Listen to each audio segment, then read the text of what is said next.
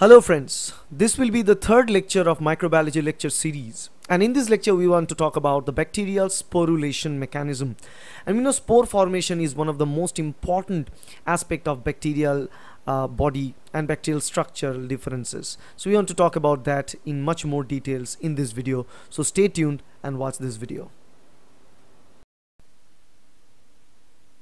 And another internal structures that I must say before going into other topic is the spores or which is also known as the endospores.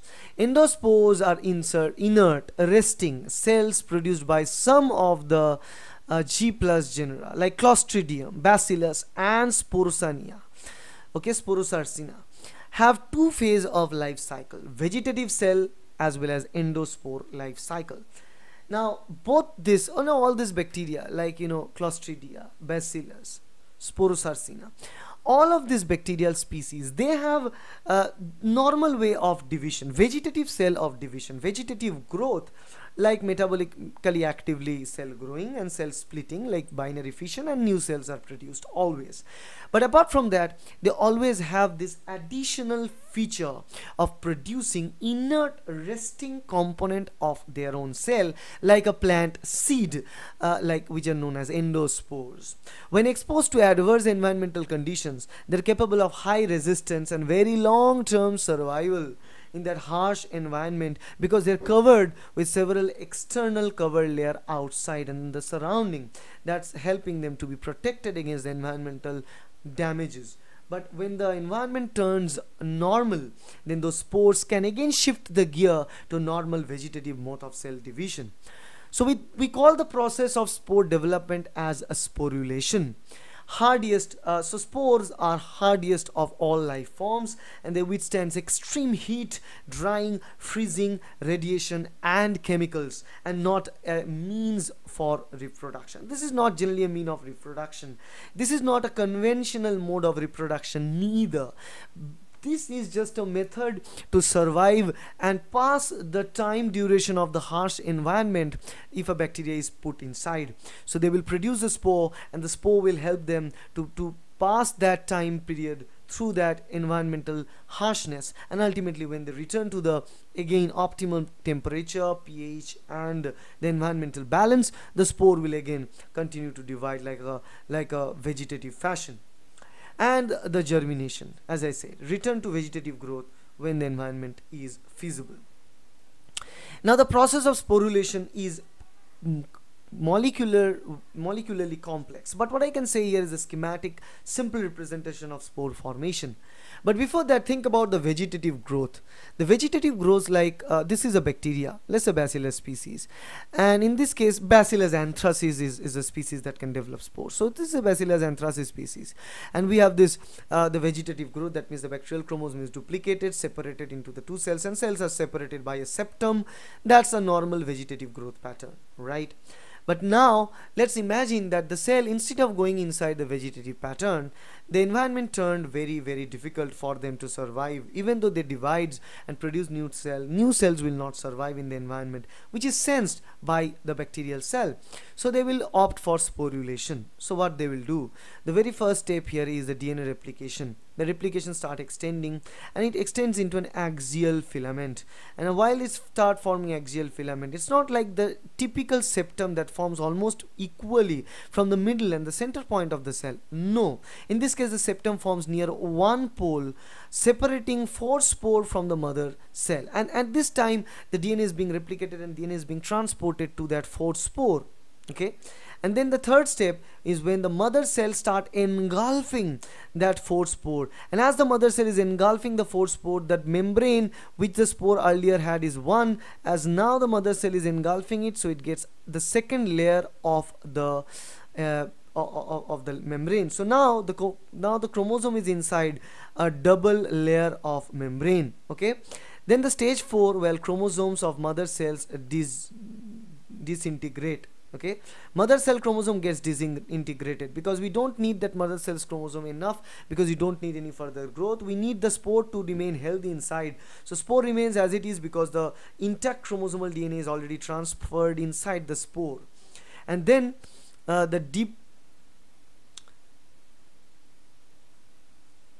so dipicolinic acid is synthesized and calcium is incorporated into the spore coat so now that's the beauty. That's almost the end where the dipicolinic acid is synthesized and particularly calcium deposits on the surface of the spore membrane. So remember the spore had a DNA inside the bacterial chromosome inside and in outside there is a double layer of cell membrane and outside we have dipicolinic acid and this calcium start depositing to form a very hard shell on the surface. And once the spore coat is fully formed then the forespore develops into a cortex layer of peptidoglycan between the original forespore membrane and the membrane from the mother cell.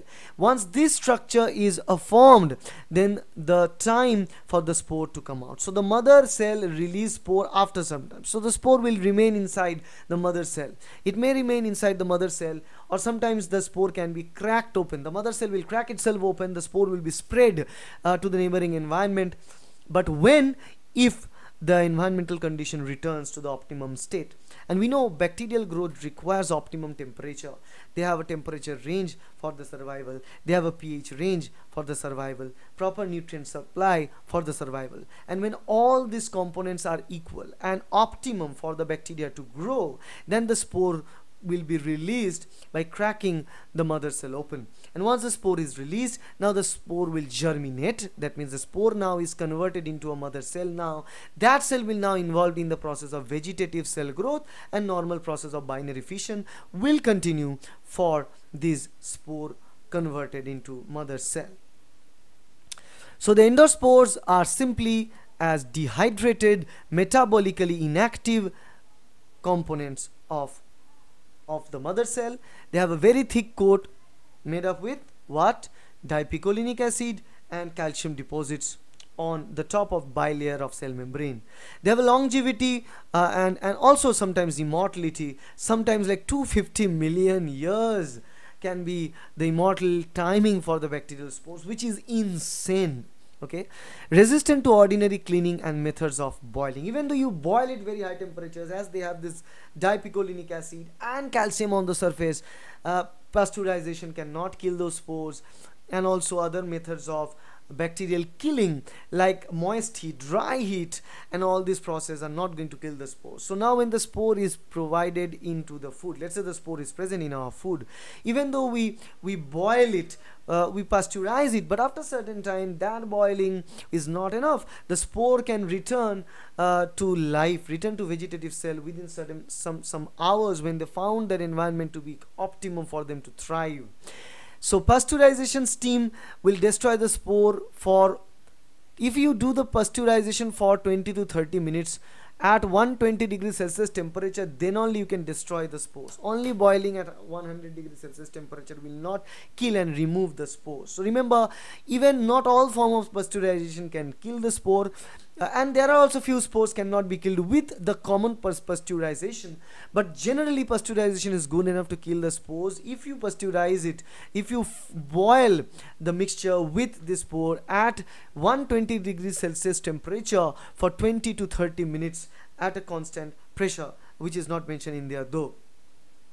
Then only you can kill uh, that spore. But imagine a structure so complex and so important that it will not allow uh, the bacteria to even get killed. It will even survive for 250 million years which is insanely huge de delay right? And then the bacteria can come to life. That is really crazy okay friends hope you understood the mechanism of bacterial sporulation and the use of bacterial spore so if you like this video, please hit the like button, share this video with your friends and subscribe to my channel to get more and more videos like that. Bye.